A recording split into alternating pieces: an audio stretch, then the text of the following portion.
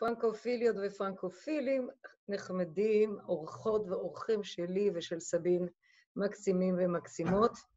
אמ, אז הנה, אנחנו פותחים היום ב, אמ, בווידאו חדש, בפגישה חדשה, אה, והפעם אה, אנחנו נדבר, אני תכף אה, מקבלת כאן את האורחות שלי, אחת זו כבר לא אורחת, זאת סבין, השותפה שלי לפרויקט הזה, שלום. והשנייה, שלום סבין, שלום.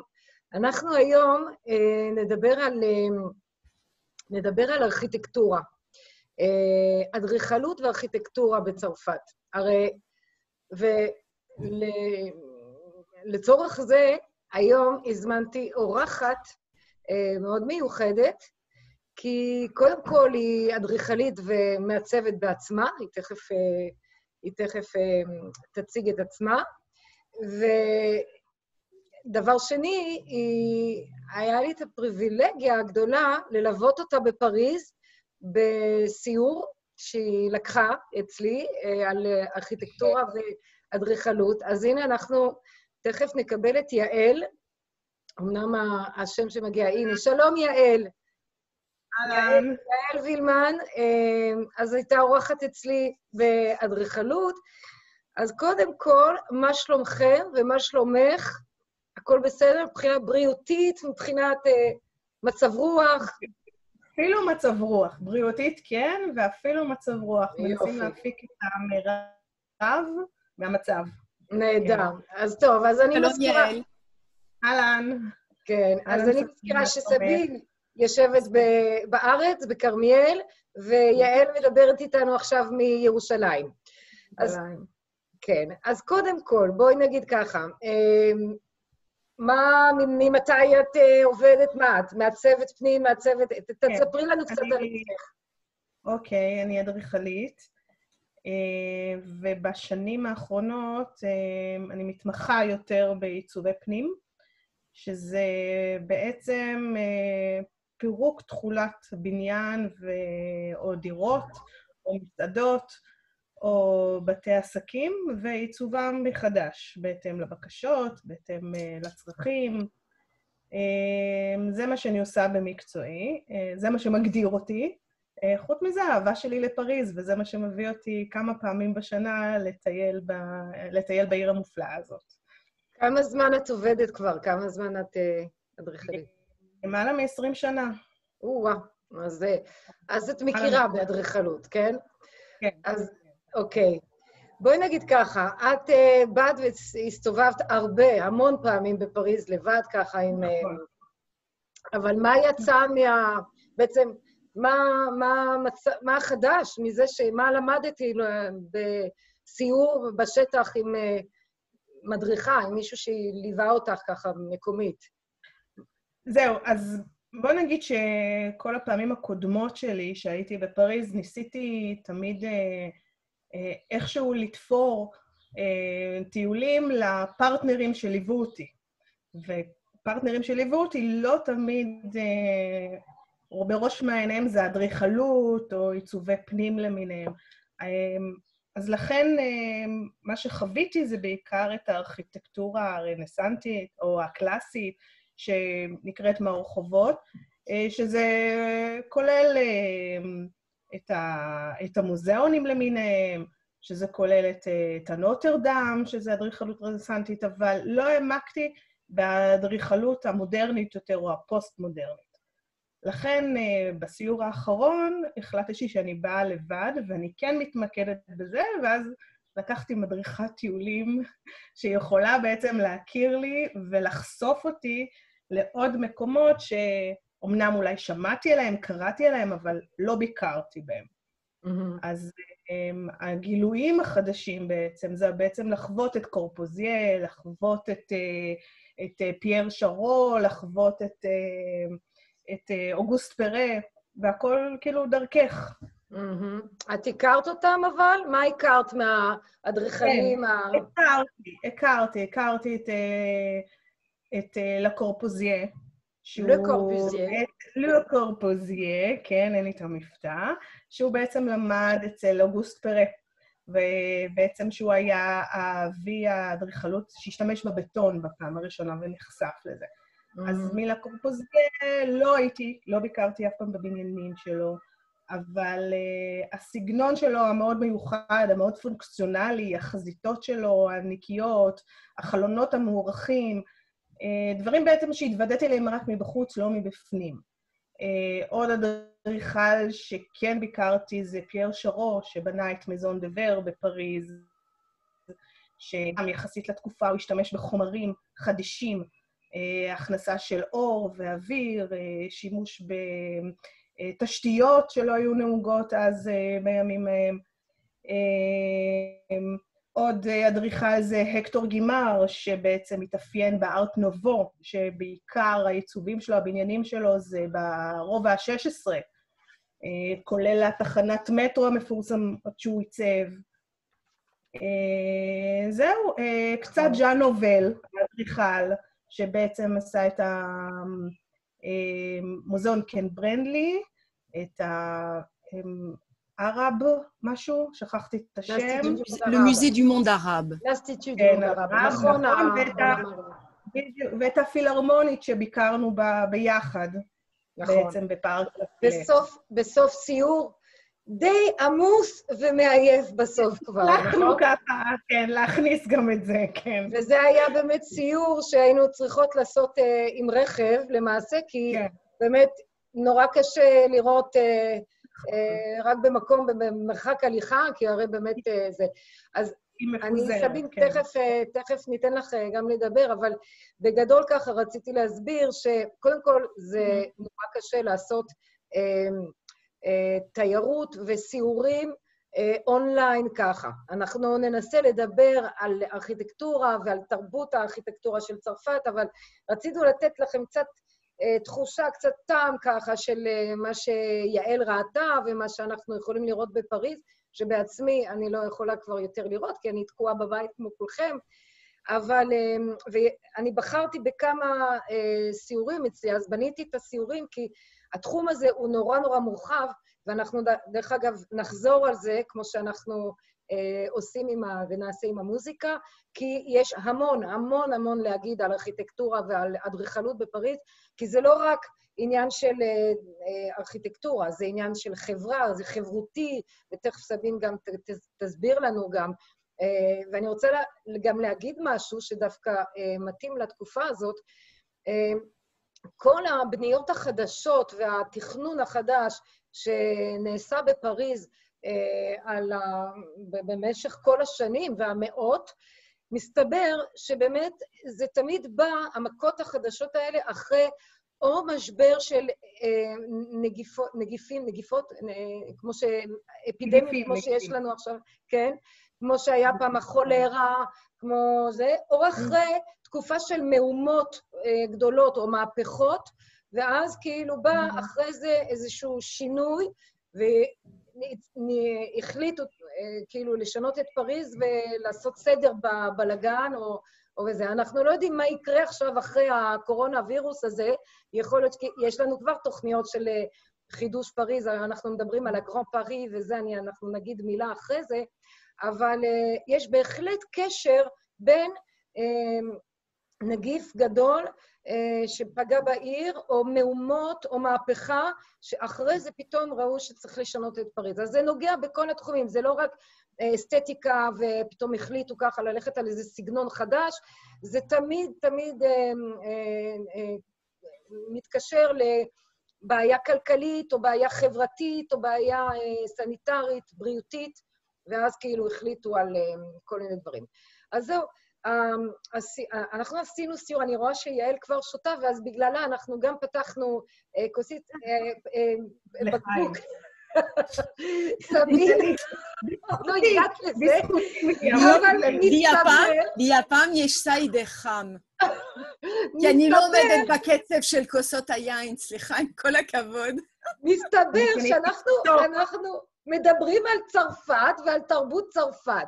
מסתבר שכל האורחים שלי, משום מה, אני לא ביקשתי מהם שום דבר, מגיעים מול המצלמה של הזום עם כוס יין, אני לא יודעת. עם כוס יין ביד. אז בסדר, אני מתאקלמת ומקבלת. זה ביחד, זה קונספט ביחד, כן. נכון, אוקיי, אז זהו, בגדול ככה. אנחנו לא, לא נחשף ולא נדבר על כל הארכיטקטורה של זה, אנחנו נתמקד ככה על איזה תקופה של אחרי המהפכה. בוא נגיד ככה, יש עולם לפני המהפכה הצרפתית, שזה בשנת, מי, מי יוכל להגיד לי? יעל... 1789. די, יעל. אה, יעל, אוקיי. אוקיי, אז זה 1789, המהפכה הצרפתית, וזה מסמן איכשהו את סוף ימי הביניים באמת, כאילו, וזהו, גמרנו עם התקופה הזאת, שזה רלוונטי גם לגסטרונומיה, גם להכל, כמו שדיברנו בשנטיי, על הנושא של שנטיי, ואחרי המהפכה. אז אפשר לדבר על 200 שנה של, של, של ארכיטקטורה בפריז, עם כל הסגנונות שהגיעו אחד אחרי השני. אנחנו עם יעל לא ראינו את הכל, אבל בכל זאת חסינו קצת, חסינו קצת את, ה, את הסיפור של אוסמן, למשל, ארט דקו, אר נובו, ארט דקו אחרי זה, ועד שהגענו באמת לדברים החדשים, החדישים, כמו ז'אן נובל, לו קורבוזיה, גם פיליפ סטארק, אם את זוכרת. דיברנו על פיליפ סטארק. נכון, במלון של פיליפ סטארק. אז, אז, אז אני, אני אעשה הפסקונת קטנה ואני אנסה להראות עכשיו תמונה שצילמנו אה, במלון החדש של פיליפ סטארק, ואם את זוכרת, אה, יעל, uh, פגשנו שם במקרה, חכה, זה לא, זאת לא התמונה. פגשנו שם מישהו במקרה, וזה בדיוק היתרון של הסיורים, סיורים, אני לא יודעת איפה נעלמה התמונה הנחמדה הזאת, אבל, איך נגיע לזה? אה, אני לא יודעת איפה היא נעלמה. אה, אוקיי, אנחנו, אני מפקששת פה משהו. Mm. טוב, היה לנו, הייתה לנו, אה, היה לנו קטע מאוד נחמד, אבל תכף אני אמצא את התמונה הזאת. אוקיי. סבין, אני אפסיק לקשקש פה. מה, מה יש לך להגיד קצת ככה על ארכיטקטורה מהבחינה שלך של תרבות צרפת? אז קודם כל, אני רוצה להתייחס ל... ל, ל לדרך המקסימה שבה יעל מבטא את השם של לו קורבוזיה. וזה מאוד החזיר אותי לג'וזפין בייקר, שהייתה חברה טובה של לו קורבוזיה. יש סיפור מאוד מאוד מעניין איך הם הכירו ומה הם עשו ביחד. אני מציינת חברים, לא בני זוג. וגם היא, שהגיעה מארצות הברית, אה, ביטאה את השם שלו ככה בדרך אה, מאוד, אה, מאוד יפה. אה, אפרופו פריז, אז נכון, אה, אה, נכון שאת מציינת, מרים, את ההתאמה, את ההלימה בזמן בין תקופות של שינויים לבין השינויים בתחום הארכיטקטורה. עכשיו, בכלל המאה ה-19, אם אני אתייחס קודם כל ל-19, בכלל היא תקופה עם המון שינויים פוליטיים. יש במהלך המאה ה-19 שתי רפובליקות, אה, פעמיים אה, משטר של קיסרות, ושלוש פעמים משטר של אה, מלך, של מלכות. ובוודאי שכל שינוי פוליטי מתבטא ברצון של השליט להשאיר את החותם שלו. אז אם פעם היה כך, אז החל מהיום שאני שולט, יהיה אחרת. ויעל, את בירושלים, וזה הזכיר לי את העובדה שירושלים אה, היא כמו סוג של עוגת פחוסות, נכון? אז בפריז פעלו אחרת. אה, בהרבה מאוד אה, אזורים של פריז לא בנו מעל, מעל, מעל כמו בירושלים, פשוט אכסו, הרחיבו ושינו לגמרי את התמונה, כך שאפשר לומר שבתקופת ה-17 שנות עבודה נמרצת של אוסמן, פריז השתנתה ב-60 אחוז מגודלה. השתנתה, אני מתכוונת למה שהיה קיים, 60 אחוז שינויים. ותוסיפי לזה, מרים, אה, שבמהלך המאה ה-19 פריז התרחבה מאוד, ואני בטוחה שאת תוכלי במהלך התמונות, שנראה התמונות, להתייחס. Uh, להיבט החברתי, אני רק אגיד, כי יש המון מה לומר, וכפי שמרים אומרת, באמת צריך לבלות בפריז ולהסתכל על הבניינים ולהסתכל למעלה למעלה עד הקומות העליונות כדי להבין מה היו החיים של האנשים. כי הרי מאחורי האבנים הללו יש אנשים. יש היבט מרתק בתחום האדריכלות, שהוא ההיבט החברתי. כי אה, את יודעת את זה, יעל, כשמשנים את הפנים של פריז ב-60 אחוז מהשטח שלה, זה אומר שיש אוכלוסייה שנדחקת הצידה, ולפעמים. גם החוצה. ופריז השתנתה מאוד מבחינת ההרכב אה, של האוכלוסייה. אז זה בשלב זה, ועכשיו אני נותנת לך, אה, אה, מרים, להקסים אותנו, כי אני מחכה לתמונות. אני כבר נרשמתי לסיור, כן. אז טוב. אני רוצה לראות את התמונות של, אני, אה, אני אנסה לשתף עכשיו באמת את ה, כמה תמונות שצילמנו עם יעל. קודם כל, אני מצאתי את התמונה שרציתי להראות. אולי אה, מישהו מכיר את הבחורצ'יק הזה, שיעל יושבת אה, לידו? את זוכרת, יעל? אני, בטח שאני זוכרת. אני זוכרת איך שנכנסנו, אני... איך קוראים לו? את זוכרת? לא, לא, לא. אני לא זוכרת איך קוראים לו. אריה ביטו. השם אני לא זוכרת. אריה ביטו הוא שחקן אה, ששיחק באחד הסרטים שאת אמרת לי שאת אה, ראית. אה, למה זה מגיע לי, כן. קוראים, כן, נכון. במקרה נכנסנו למלון של פיליפ סטארק, שהוא חידש, שהוא נכון. עשה במלון, ואז כאילו יעל אומרת לי, היי, אני מכירה אותו, אני מכירה את הבן אדם הזה, הוא שחקן, ראיתי בסרט, qu'est-ce qu'on a fait au bon Dieu? מה עשינו לאלוהים עם הזוגות שמתחתנים עם, כאילו, אחד עם יהודי, אחד עם ערבי, אחד... טוב, כן. זה היה בין הסוגריים למה שהאדריכלות, אבל זה דברים שקורים כשאנחנו בשטח. פתאום יש דברים, אי אפשר לתכנן הפתעות טובות כאלה. אז זהו. בגדול, ככה, את יודעת, לא... אפשר לדבר אה, שעות, אבל בואי נגיד ככה. אני אשאל אותך כמה שאלות, יעל, ונראה אם את mm-hmm. תוכלי לענות על מה שראית ולמדת בשטח. נגיד. אם לוקחים, כולם מכירים את הבניינים ההוסמניים, הרי זה דבר שכולם אה, רואים, ובפריז הם באמת, הבניינים נראים, כולם כמעט פחות או יותר אותו דבר, רק זה לא, הם לא כולם בניינים עות'מאנים, יש הרי כמה סימנים וכמה קריטריונים שאפשר כן. אה, לדעת כאילו שזה באמת בעניין אוסמן. מה, מה זוכרת ממה שראינו, למשל?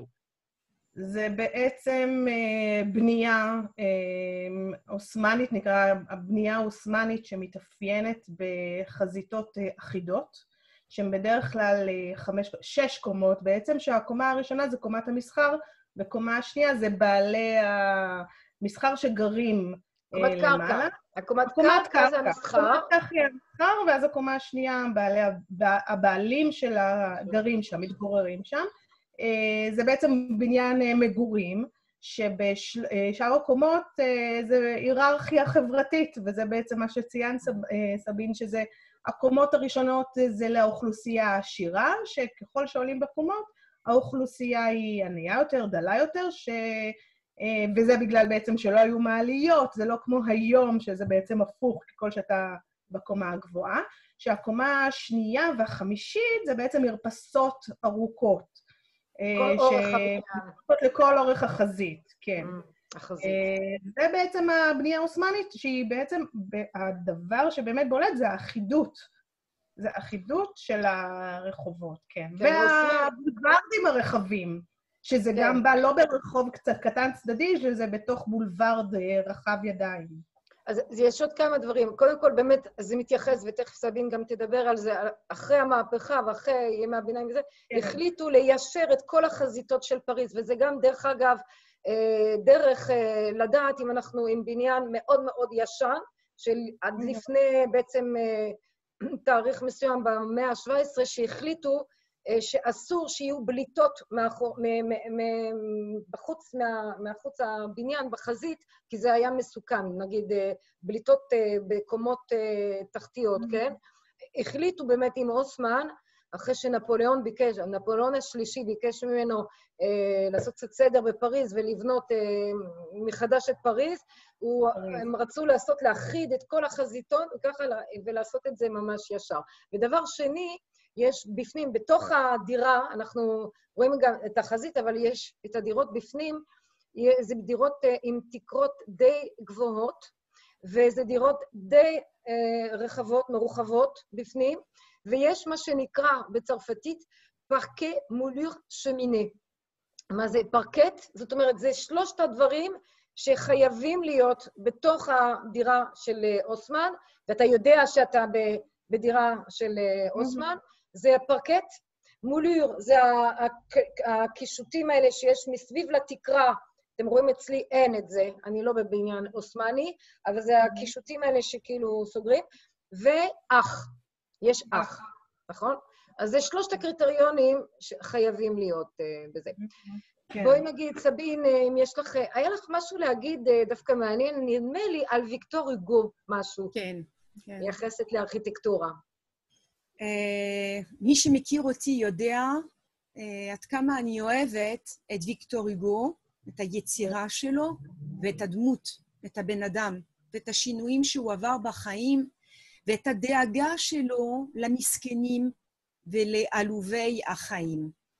עכשיו, יש, אה, יש תאריכים שמאוד מעניינים, אם אנחנו בודקים למשל את היצירה הגיבן מנוטרדם, ספר שיצא לאור ב-1831, שבו ויקטור היגו מחדש או מכריע מחדש את הפריז של תקופת הביניים. כי הרי דרך הסיפור של הגיבן, אנחנו מרגישים וחשים את פריז בתקופת הביניים. אז אנחנו יודעים, כשאנחנו קוראים את הסיפור, את ההיסטוריה, אנחנו יודעים שוויקטור היגו אה, ייחס חשיבות מאוד גדולה למסורת של הארכיטקטורה להיסטוריית השכונות והרחובות, ועם הוצאת הספר הוא גרם, זה סיפור ארוך ומאוד מעניין שאני מספרת בהרצאה על נוטרדם, הוא, הוא למעשה מחזיר לעם הפריזאי ולעם הצרפתי את נוטרדם כמלכת פריז. ומהוצאה לאור של הספר, אה, בפריז מגלים מחדש את החשיבות ואת היופי של הפריז הישן, של הפריז העתיק. עכשיו אני קופצת לתקופה של... אה, זאת אומרת, אני עדיין בתקופה של אוסמן, אבל 20 שנה אה, מאוחר יותר, ב-1853, אה, מתחיל אוסמן עם העבודות הגדולות, וזה נמשך 17 שנה, עד 1870, והמעניין הוא שבדיוק בתקופה של חידוש פריז, והורסים 24 אלף בתים כדי להרחיב את הרחובות ולהפוך אותם לשדרות, אז בדיוק בתקופה ההיא, ויקטור היגו בגלות. הוא בגלות כי הוא מתנגד לנפוליאון השלישי, מסיבות פוליטיות. בנו, אז... בנו 34 אלף, כן? זה הרסו, אבל כן, בנו כן, 34 כן. אלף בתים חדשים מגורים. זאת אומרת שמה שבנו, ואני באמת אה, לא מתנגדת, אני mm-hmm. מלאת הערכה למה שנעשה, אבל אני גם מתבוננת מבחינת היסטורית במחירים.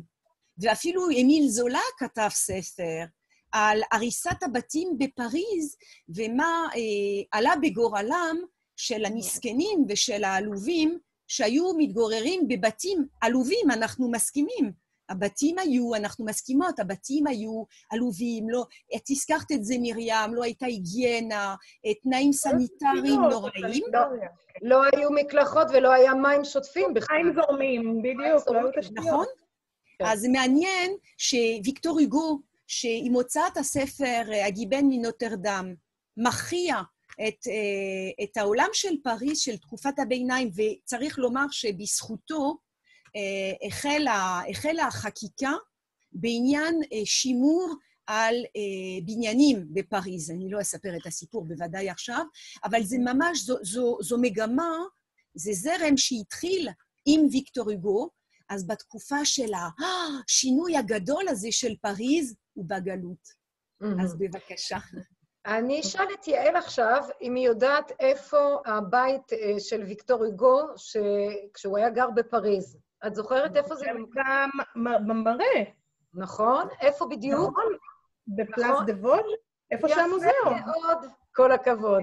נכון. זה, okay. הוא אוקיי. בשיפוצים עכשיו, אבל אפשר לבקר שם, וזה נורא נורא מעניין. זה מוזיאון שזה הבית נשמר, וכל הארכיון באמת שלו, כל הספרים, כל מה שהוא כתב, נמצא שם, וזה בפלאס דה ווז' המקסימה שאנחנו כל כך אוהבים בפריז. טוב, אמ, אנחנו, אני אנסה להראות את התמונות האלה שרציתי להראות, לא יודעת אם זה יעלה, אבל אה, אולי אנחנו לא נתארך יותר מדי, כי יש כל כך הרבה להגיד. אמ, בגדול ככה, מה, מה את זוכרת ממה שראינו ב... הרי היינו בבית של לקורבוזיה, את זוכרת? בדירה? כן. את זוכרת מה, מה ראית שם ומה... הייתי בבית שהוא בנה, וילה ראש. וילה לראש. אה, וילה לראש. אה, אז והיינו גם באפרטמה שלו, כאילו גם בבית מגורים שלו, נכון? וגם בווילה ראש. זה בעצם, הווילה ראש הזה מאוד מתאפיין בארכיטקטורה ש... שמגדירה את אה, לקורבוזיה, שזה באמת בנייה על עמודים כדי לתת לחלל לחדור פנימה. החללים הם מאוד מוגדרים, הם אה, ברור מה זה, מאוד פונקציונליים בעצם. אה, הבנייה היא גם נורא נקייה, אין בה קישוטים. החלונות בעצם פתוחים לנוף, חלונות ארוכים, אופקיים. וגג, גג היה גם נורא חשוב. והמרפסת שהיא בעצם בגג, גם עלינו והצטלמנו שם במרפסת בגג. נכון, כי זה קצת ירוק, היה אפשר לעשות קצת אה, חמצן נכון. ככה, נכון.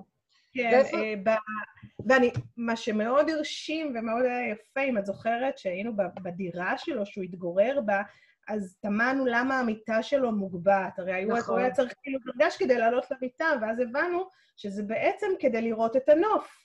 נכון. כי היה את המעקה של המרפסת, ואם הוא היה שוכב במיטה, זה בעצם הוא היה נחשף למעקה נכון. הבנוי, אז המיטה מוגבעת. כולל המראה, כולל המראה בחדר שהיה אפשר בעצם, על ציר שהיה אפשר לסובב אותה, ואז דרך המראה גם המשתקף הנוף, או הדלת, הדלת של החדר שלו, שאנחנו נכנסנו לחדר, כשאת נכון. סוגרת את הדלת, בעצם ארון מתגלה לך ונפתח. כשאת פותחת, אז הארון בעצם צמוד אה, לקיר, ואז את לא נחשפת לבגדים. כן, הרבה יעילות, הרבה חשיבה. הרבה חשיבה. נכון. אה, ברזולוציה מאוד מאוד מאוד קטנה, וזה מרשים. זה מרשים נכון. לראות. זה בתקופתנו. ובאיזה, את זוכרת באיזה רובע זה היה, נכון? באיזה רובע בפריז? ב-16. נכון. ואיזה רחוב היה שם אה, ליד זה שראינו עוד ארכיטקט? סטיבן מלט? מלט סטיבן. מלט סטיבן, כן. מלט סטיבן, זה גם כן היה... אני אנסה עכשיו באמת למצוא את התמונות, כי באמת זה היה נורא מרשים, אני לא יודעת למה זה לא מצליח נכון. אה, לצאת, תכף אני אראה. הנה, יופי. לא, זה לא. אוקיי, אז uh, הנה, זה ברחוב מלט סטיבן, שהסתובבנו, באמת. נכון. אה, זה גם כן, את זוכרת? אמ, אני זוכרת את הבריכה, אני זוכרת את המלון, אני זוכרת את הספא. אה, מוליטור. בריכת מוליטור, את זוכרת. זהו, זה בספא כן, שלה. כן. הנה, זה אצל לקורביזיה בדיוק. זה לקורביזיה, כן. נכון, וזה אנחנו בגג של אה, וילה לראש. וילה לראש. והנה המראה שאת uh, דיברת עליה, לא, זאת לא היא, אבל זה ב... לא, לא, זה לא זה. המראה לא, הייתה לא ארוכה לצד המיטה. נכון, כן. זאת הפינה של uh, אשתו אז, הנה היא. הנה, המראה. הנה, הנה המראה שהיא מסתובבת על קיר, הנה אני פותחת את הדלת, שאפשר בעצם, מדהים. ואנחנו כן. רואים פה את המיטה הגבוהה מאוד, נכון? נכון. וזה אצל פיליפ סטארק, במלון של פיליפ סטארק, שאכלנו את הפאי לימון של... פאי לימון. לבריס של איזה שף גדול, פטיסייה כן. מאוד אופנתי, מאוד טרנדי בזמן כן. האחרון. אה, זהו, זה עוד פעם לקורבוזיה, וזה רחוב מלט סטיבן, שזה מין... אה, נכון. זה ממש כאילו... כן. פינה אה, מחוץ ברי, זה נורא קליפורני כזה, נכון? את זוכרת עם נכון, הצדקת? נכון, לא... שנות ה-60. לא נכון, נכון. כאילו, מה שאנחנו... נכון. אז זהו, יש לנו עוד מיליון דברים להגיד, אבל באמת, זה נושא כל כך רחב, מורחב, ובאמת, כל אחת מאיתנו יש מה להגיד. גם סבין, כי עם האספקט ההיסטורי והתרבותי, גם את, מכל מה שהתרשמת וזה, אנחנו אולי באמת לא, לא נתעכב ולא ניקח מהזמן היקר של הצופים שלנו, אם, אם יש, ונחזור, נחזור שוב ונדבר על... פריז לא נגמרת. פריז לא כן. נגמרת. זה כן, נחזור לבקר בפריז ונחזור לדבר על ארכיטקטורה ועל אדריכלות פריזאית. יש המון דברים uh, שצריך עוד לראות. Mm-hmm. סבין, את רוצה להגיד איזה מילה, שתי מילים uh, לסיום? אני רציתי לשאול את uh, יעל, ממקום mm-hmm. של סקרנות, האם בארץ מלמדים את היסטוריית הארכיטקטורה של פריז? זו שאלה לא. קצת תמימה, נכון? כן, זו שאלה, אה, לא, היא שאלה במקום, אבל אני חושבת שתלוי המסגרת שאת לומדת. אני מתכוונת בלימודי ארכיטקטורה. אה, בלימודי ארכיטקטורה, אה, כן. לאו, לאו דווקא של אה, פריז. זה, אני יכולה להגיד שנותנים דוגמאות. אם אני אה, לומדת על תקופת הרנסאנס, אז בטוח, או סגנון גותי, אז בוודאי שיש דוגמאות מאוד מוחשות מפריז. אבל uh, אני לא חושבת שתוקפים את הנושא של אדריכלות מפריז לאורך השנים. אז יותר על ידי סגנונות עם דוגמאות mm-hmm. גם מגיעים לפריז, כן. בנות, אני אצטרך uh, להפסיק את זה, כי פשוט uh, אני מקבלת הודעות פה מזום. Um, אנחנו, אנחנו נחזור uh, לראות, אולי uh, נזמין את יעל שוב, כי יש לנו דברים להגיד, ויש לנו עוד אדריכלות ואדריכלים להזמין כאן, אבל יכול להיות שנצרף אותך, את סבין תמיד okay. אוקיי. כמובן. Uh, אנחנו נאחל לכם סוף חג שמח, כי אנחנו עדיין בתקופות, התקופה הזאת של חגים, של פסח uh, ונוסח, נוסחה קורונה וירוס. זה לא כל כך נעים. אני מקווה שהיה לכם קצת נחמד, ואנחנו... אני נורא שמחתי לראות את uh, יעל, שראינו לפני, התראינו לפני כמה חודשים. מתחילת הקורונה בעצם. לפני תחילת הקורונה באמת, כן, כן. אנחנו כן. ניפרד כאן, אני אגיד לכם שלום, חברים יקרים. שלום, שלום, שלום וחג. להתראות, להתראות. להתראות. וזהו, לנושא אחר בפעם הבאה. ביי. ביי ביי. ביי, יעל. bisous. bisous.